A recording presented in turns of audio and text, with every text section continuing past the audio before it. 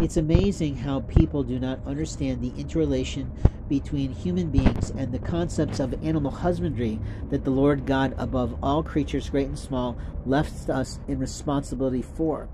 What God said was, Take my animals and tend them, care for them, slaughter them when you need to eat, but also propagate them so you can continue your life in this world.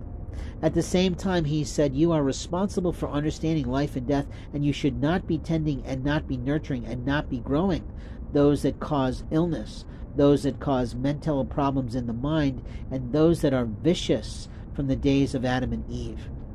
You have failed me by not slaughtering these creatures. You have failed me when you don't listen to me say, This is how you curb the problems that people are experiencing in their lives, on their homes, on their land, from animals than predators, absolute man eaters that destroy families with accidents and unexpected nature because they think that thing will never come out of the water at them. What a lie those humans have told themselves. Their job was to kill it, and their job was to not keep it.